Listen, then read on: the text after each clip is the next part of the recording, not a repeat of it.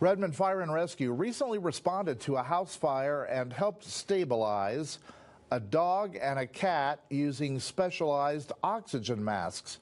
Bola Gbadebo tells us it's not the first time they've needed the equipment. Redmond Fire and Rescue says about 10 to 15 minutes after the oxygen masks were put on, the pets woke up. It took about 20 to 30 minutes before they were fully stabilized.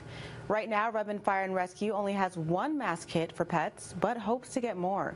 The fire marshal says they've only used it a handful of times and it's proven successful. Bend Fire and Rescue says the oxygen masks come equipped with all their fire trucks. A firefighter paramedic with Redmond Fire and Rescue explains how it works. So if the pet is breathing, when we find them, we can attach the oxygen bottle and then attach the mask to the pet's muzzle and allow them to breathe oxygen on their own.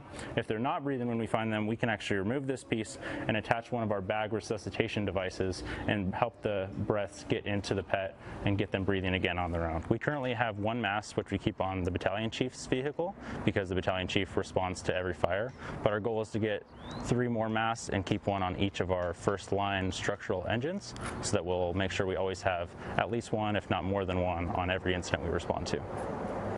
Redmond Fire and Rescue carries a small, medium, and large mask in its pet kit.